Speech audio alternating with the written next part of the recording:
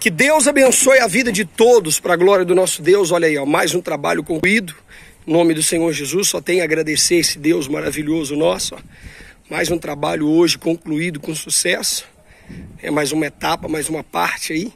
Que Deus abençoe muito a vida de vocês, ricamente.